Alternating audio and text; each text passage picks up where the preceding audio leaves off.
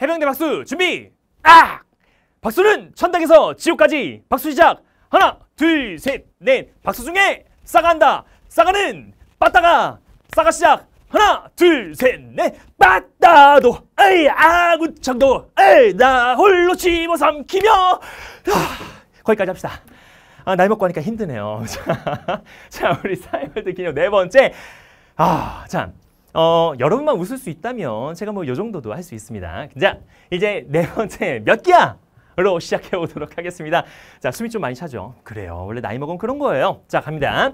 자, 먼저 우리 지난 시간에 대한 이야기를 보면 제가 아, 이렇게 많은 친구들이 많이 봐줘서 너무너무 감사한데 어, 조금 조심스러운 게 제가 이제 무슨 얘기를 할까 하다가 이게 우리 해병대에 대한 자부심이 굉장히 있는 사람인데 해병대에 대한 어떤 뭐 예를 들면 뭐 어떤 친구들이 뭐 가혹행 위 얘기도 하고요. 뭐 그런데 그런 걸 얘기하고 싶진 않습니다. 그런 거는 이제 부대 이미지에 이제 실추가 될 수도 있고 지금의 병영 문화 개선이 됐기 때문에 그런 거를 가지고 또 이제 막 이렇게 하진 마시고 제가 이제 제 경험 속에 있는 내용들을 말씀드리는 거니까 참고로 재미있게 보시면 되고요. 마지막에 마찬가지로 제가 또 메시지 하나 갖고 왔습니다. 아 당연하죠. 그냥 웃자라고만 하는 거 말고 뭔가 메시지를 드리려고 갖고 왔으니까 함께 보시면 되겠다. 이제 숨 골랐죠? 갑니다.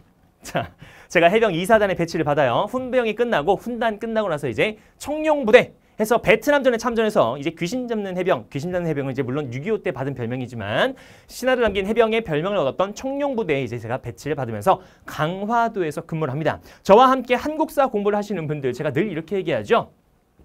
얘들아 몽골이 쳐들어왔대. 우리 어디로 도망갔어? 강화도. 왜 하필 강화도야? 그렇지 이쯤 되면 나와야지. 선생님이 강화도에서 근무했으니까요. 맞아요. 그 강화도입니다. 병자호란 때 우리나라가 강화도로 도망갔어. 왜 하필 강화도야? 맞아요. 제가 강화도로 강화도에서 근무했으니까요. 맞아요.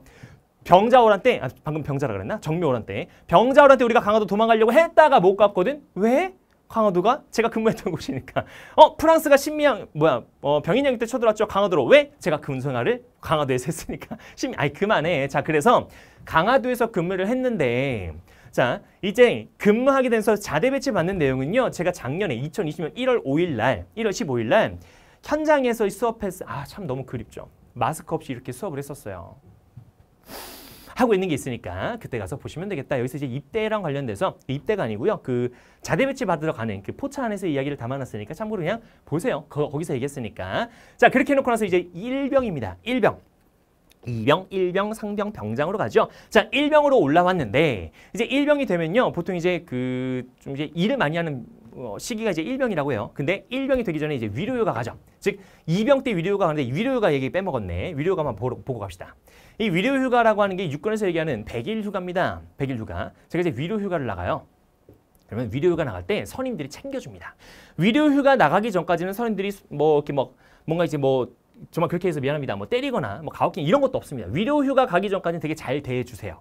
근데 갔다 오면 그때부터 본격적인 군생활 시작인데 위료 휴가를 나가게 됩니다. 근데 위료가 나갈 때 선임들이 챙겨준다 그랬잖아요. 딱 정복을 입습니다. 딱 정복 입고 해병대는 휴가복이 따로 있어요. 휴가복을 따로 입고 나가서 근데 이제 군기가 들었잖아. 근데 말투가 우리 병들끼리는 까를 못 써요. 까자를 못 씁니다. 도대체 이거 왜 그런 겁니까? 이거 어디 있습니까? 그 까자를 못 써. 그래서 까자를 쓸 수 있는 게 또 정해져 있는데 우리 이병은 그런 거 못 쓰니까 이제 이게 말투가 어떻게 바뀌냐면 김종훈 해병님 저 여기 있는 리모컨 써도 되는지 알고 싶습니다. 로 끝나야 돼요. 김종훈 해병님 저기 있는 저 휴대폰 충전기를 제가 써도 되는지 알고 싶습니다. 김종훈 해병님 저 공중전화 가서 전화하고 와도 되는지 알고 싶습니다. 이렇게 말을 해야 되거든. 제가 근생할 땐 그랬어요. 그래서 이게 몸에 배어 있으니까 이 휴가를 나가가지고 강화 터미널까지는 그 군대에서 태워줘요. 강화도 터미널. 그 되게 시골 같은 터미널이 있습니다.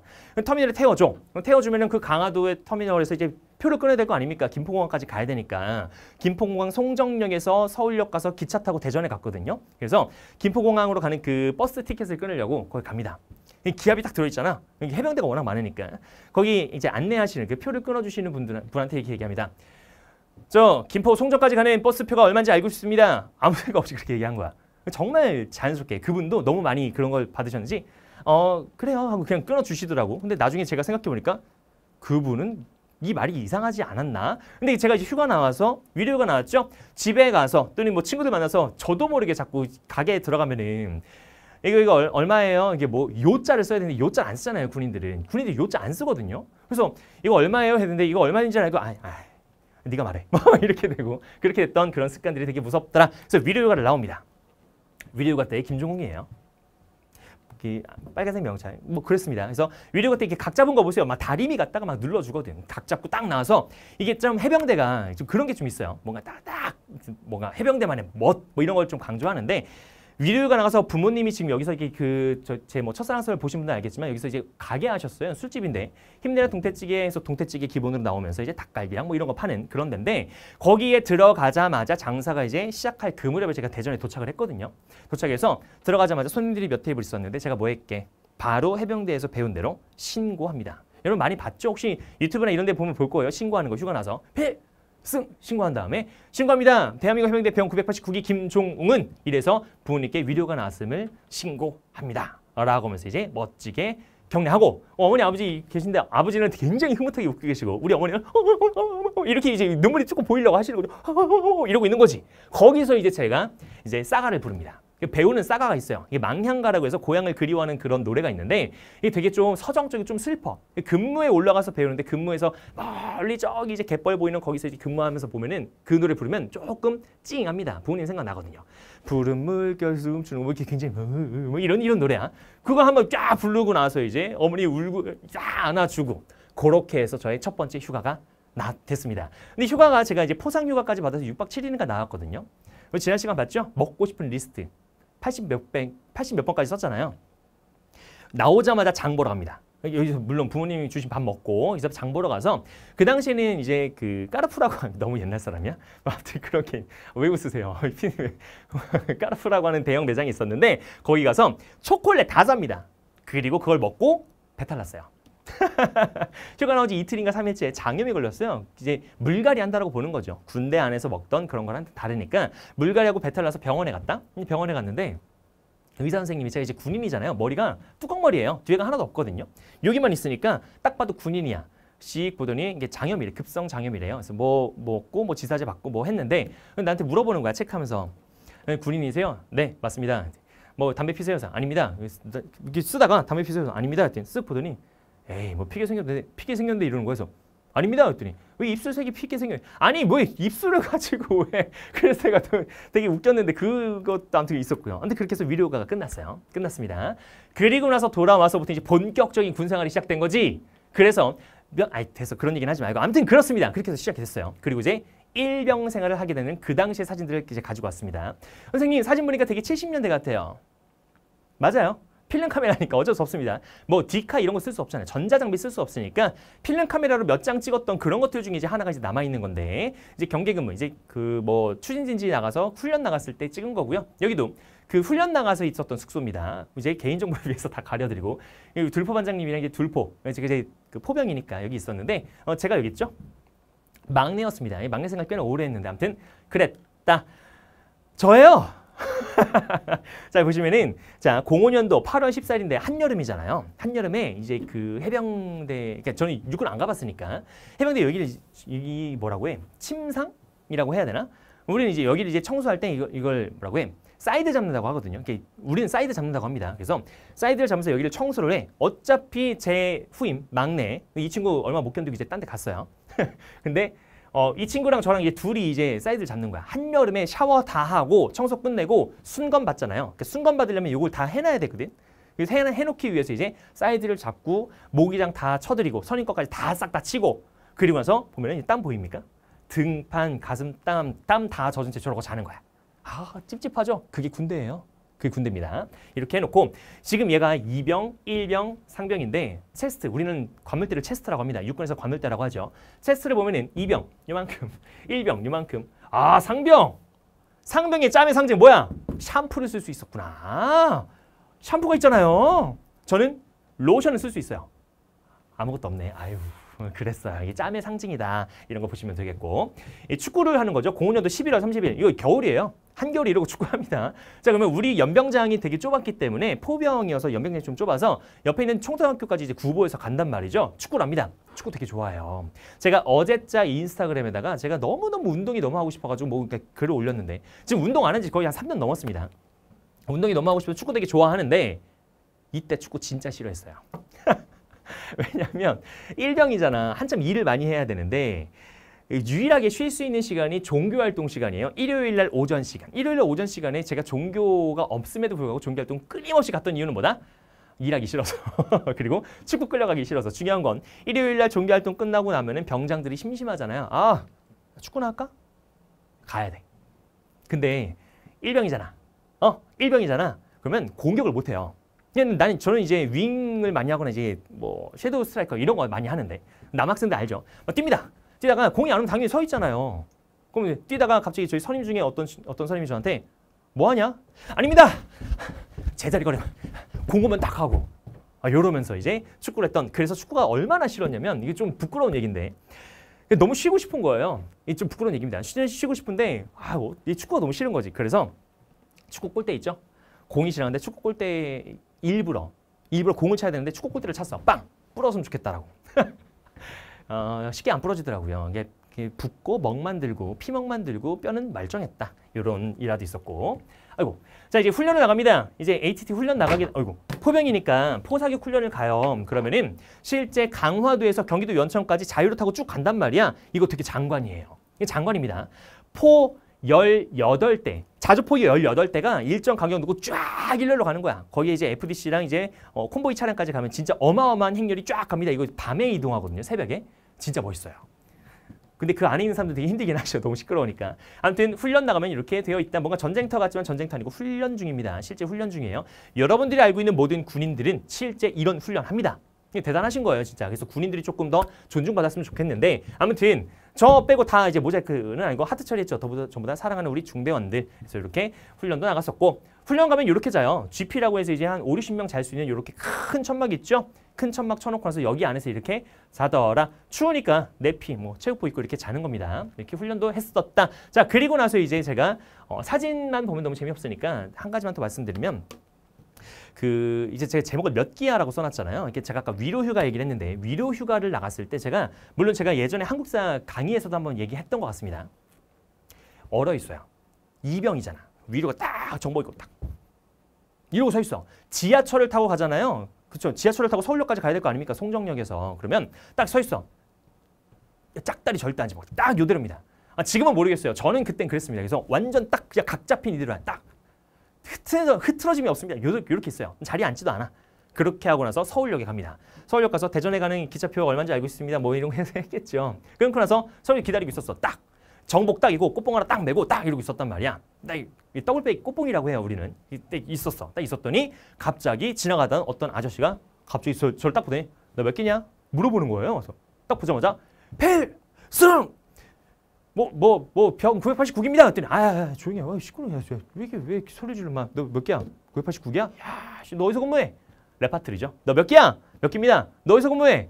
저 강화도 포 5대대에서 근무합니다. 몇, 층 됩니다. 했더니 아, 야, 나, 나몇 사람 누구야? 했더니 필승 아, 됐어, 됐어. 야, 뭐 휴가 나왔어? 맞습니다. 그래서 무슨 휴가? 뭐 위로야? 그랬더니 위로 갑니다. 야, 이 새끼 기합 들었네. 갑자기 지역값을 꺼내고 2만 원 딱 줍니다. 우리는 감사합니다라는 말을 못 쓰는 부대였거든요. 감사합니다를 안 쓰니까 뭐뭐 저좀 뭐 이게 했어. 그리고 톡톡 들으면서 열심히 해마 하고 가시는 거야. 그리고 가는 길에 되고 필승 했더니 아 조용히 하라고 하고 가셨어 아저씨가. 또 가만히 있었지. 굉장히 흐뭇하게 어 얘돈 벌었다. 가만히 있었어. 가만히 있었는데 또 어떤 아저씨가 오더니 제가 서울역에서 두 번 받았어요. 딱 있더니 또 가다가 너 몇 개냐? 물어보는 거예요. 옆에서 똑같이 했지. 989입니다. 그랬더니 너 어디서 근무해? 강화도 포대에 어디서 근무합니다. 그랬더니 아 그래 나 어디 어디 어디야? 뭐 몇 개야? 그래서 아 뭐, 왜 했어? 했더니 아 했고 위로가야? 그래서 맞습니다. 그래서 뭐 집이 어딘데? 대전입니다. 어 그래 일로 와. 롯데리아 사주셨어요. 그 앞에 롯데리아 있거든요. 사주셨어요 햄버거. 용돈 주셨죠. 하, 이게 바로 해병대구나. 라고 느꼈던 그렇게 볼 수 있고 제가 이제 나중에 일병회 때 휴가를 나가요. 일병 정기휴가 때 휴가를 나갔는데 휴가를 나가면 이제 보통 이제 저도 이제 성인이니까 술집을 갈 거 아닙니까? 군인들 친구들끼리 군인 휴가 맞춰 나온 친구들이랑 이제 남아 있었던 친구들이 모여가지고 술집에 갔어요. 술은 잘 못 먹지만 어쨌든 갑니다. 가는데 가서 이렇게 뭐 이렇게 재밌게 놀겠죠. 근데 제가 머리가 누가 봐도 해병대니까 제가 이런 옷을 이렇게 입고 다니지 않아도 누가 봐도 해병대인지 알잖아요. 그러면 해병대인데 먹고 있는데 갑자기 이제 막걸리 집에 갔단 말이죠. 막걸리 주전자가 옵니다. 그래서 이제 물어 그 친구가 그러죠. 저희가 안 시켰어요 했더니 그 종업원이 뭐라 그랬다? 아 저기 옆에 테이블에서 이거 갖다 주라고 시, 주신 거에서 딱 봤더니 어떤 사람이 날 보고 뭐가 있었다? 이러고 있었다고. 제가 강의에서 말씀드렸죠. 이러고 있습니다. 이거 뭐야? 해병대에서 뛰어오란 소리야. 뛰어와. 뛰어와. 검, 일어나서 바로 갑니다. 가자마자 필승 인사했지 바로 뭐라고 했다? 너 몇 개야? 그래서 몇 개입니다. 그때 너 어디서 근무해? 그래서 저 어디서 근무합니다. 아, 뭐 휴가 나왔어? 맞습니다. 친구들이야? 맞습니다. 그래서 제가 한 잔 따라야 되잖아요. 제가 한잔 드리겠습니다. 아니야 내가 줄게. 그랬더니 나한테 저한테 이제 술을 주죠. 술 잘 못 먹거든요. 줍니다. 주는데 어떻게 선임이 주는데 먹어야지. 먹었지. 먹어서 제가 한 잔 드리겠습니다. 아니야 아니야 나 술 못 먹어. 너 먹어. 두 잔 연속 먹고 이제 앉았더니 계속해서 술 시켜주는데 저는 잘 못 먹는단 말이죠. 근데 그런 일도 있었고 중요한 건 뭐 이렇게 용돈을 받잖아요. 용돈도 받고 술도 받고 하잖아. 제가 전역하고 나니까 저도 똑같더라고요. 전역하고 나서 어 뭐 길을 가는데 해병대 정복을 입은 친구들이 휴가를 나왔어. 근데 옆에 여자친구가 있어. 친구들이 저랑 같이 가다가 야 해병대 해병대. 아, 해봐. 그래서 아 안 한다. 아, 나 그럼 싫어해. 해서 아, 해보라고. 했죠. 지나가다가 딱 맞아 너몇 개냐? 했더니 갑자기 저한테 필송 하는 거야 너 몇 개야? 했더니 천 몇 개입니다 야천너 어디서 근무해 어디서 근무한대 휴가야. 했더니 위로 휴가래. 여자친구야 했더니 맞대. 맞습니다. 그래 야, 야 데이트해. 3만 원딱 그랬었다 라는 거 보시면 됩니다. 자 그리고 아 되게 꼰대 같죠? 이런 얘기하니까. 근데 그런 거 있어요. 해병대가 기수 문화가 되게 좀 잘 잡혀 있는데 그 길을 가다가 같은 해병대를 만나 강화도에서 외출을 나갔을 때 저기 옆에서 누 어떤 해병대가 와. 누가 와도 이병이야. 아 1병이야. 저기도 1병이고 나도 1병이야. 근데 서로 1병이 7개월 어, 동안 하니까 5775 하니까 7개월 동안 하니까 얘가 1병 몇 호봉인지 모르잖아. 나보다 선임인지 아닌지 모르잖아요. 제가 이제 듣기로는 육군은 지나가다가 예를 들어서 전 담배를 안 피지만 담배 피는 친구들은 아, 아저씨 담배 뭐 라이터 좀 빌려주세요. 저 아저씨 좀 해주세요. 야, 아저씨 나오세요. 이렇게 얘기한대요. 다른 부대 사람들은 아저씨라고 한대. 근데 우리는 그런 거 없거든. 소수 정예고 기수가 있기 때문에 저기서 와. 오는데 누가 먼저 경례한지 눈치 보는 거야. 딱 걸어다가 필승 989입니다. 근데 얘가 나보다 후임이야. 필승 909 이 새끼가 바로 인사 안 해 이씨. 이렇게 되는 거죠. 그럼 거기서 아, 아닙니다. 너 어디서 근무해 바로 나오는 거야. 어디서 근무해서 어디서 근무합니다. 새끼 인사 똑바로 하고 다녀 가는 거지. 뭐 이런 거. 되게 좀 꼰대 같고 뭔가 좀 이상하지만 어쨌든 기수 문화가 확실하기 때문에 군기는 잘 잡혀 있는 것으로 저는 그렇게 추억하고 있습니다.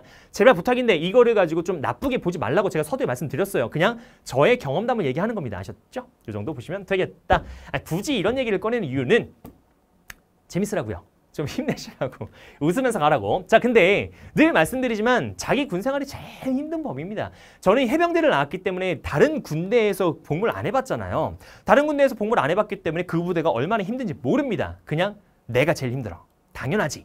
그래서 제가 위로 휴가 나와서 100일 휴가라고 하죠. 위로 휴가 나왔을 때 어머니 앞에서 실수했던 게 뭐다? 어, 술을 먹고 술을 먹 술을 잘 못 먹으니까 금방 취해요. 술을 먹고 집에 들어와서 저는 기억이 안 나는데 제 동생이 그랬죠. 형 어제 실수했어. 그래서 왜? 했더니 엄마 앞에서 울었어. 서 내가? 그래서 제가 그랬대요. 그렇게 자원 입대해서 해병대 갔는데 제가 위로가 나와서 어머니 앞에서 주먹 갖다가 땅바닥을 치면서 해병대 개니가 쓱 이러면서 막 뭐라 뭐라 했대. 어머니 얼마나 마음이 아프셨겠어.